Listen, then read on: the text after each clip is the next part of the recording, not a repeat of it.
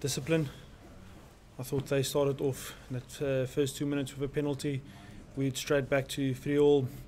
Thought we played some very good rugby in the first half. They got that penalty on the stroke of half time to give them a three point lead. And straight off the half time, we conceded that yellow card. And on the 10th minute of that yellow card, they scored the try.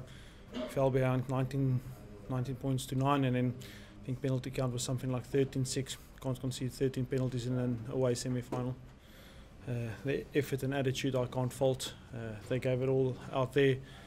Uh, unfortunately, we got beaten by a better team on the day, and like I said, um, we did some really good things, but um, you can't give them 13 times that they go to a line out from a penalty and, and put you under pressure, and then you've got to defend in your own half against a quality team like Leinster.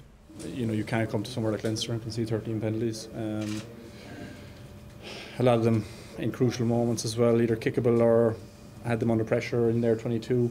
Um, and, and you know a big release valve when we were playing some great rugby at times. So um, look, they certainly played very well as well. I'm, I'm not taking away from that. Uh, you know their, their ability to, to keep the ball going forward.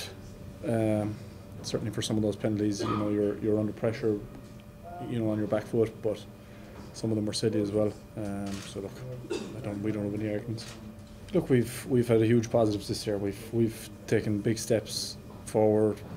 Look, as as have other teams, obviously. Um, you know, be different animal than me sitting here. And, you know, we were out of Europe and group stages, and we uh, didn't progress in the, the latter stages of this. You know, we're, we're we're doing a lot of things right. We just got to figure out where we can get the uh, the extra percent or two.